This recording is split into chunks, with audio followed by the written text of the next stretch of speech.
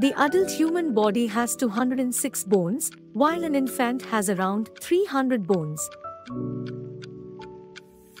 The hyoid bone at the base of the tongue is not connected to any other bones in our body. The human brain is over three times as big as the brain of other mammals that are of similar body size. The diaphragm, located below the lungs, is the major muscle of respiration.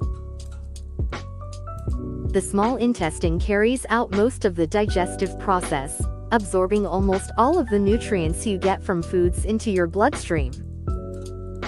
Digestion is the breakdown of large insoluble food compounds into small, water-soluble components so that they can be absorbed into the blood plasma.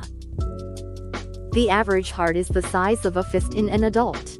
Your heart will beat about 115,000 times each day.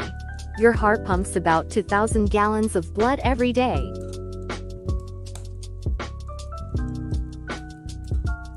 The main function of your heart is to keep oxygenated blood circulating throughout your body. Kidneys are bean-shaped and are around 10 to 12 centimeters long. Kidneys filter around 180 liters of blood every day. The liver can regenerate itself. The liver can store vitamins and minerals. The liver can remove bacteria from the blood. Our stomach produces a new layer of mucus for every two weeks and protects the stomach and other organs from being digested by the hydrochloric acid. Lungs are the only organs in the human body that can float on water.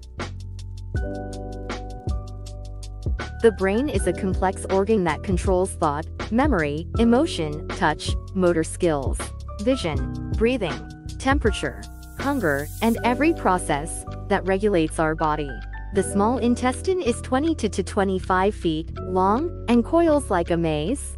The large intestine is 5 to 6 feet long.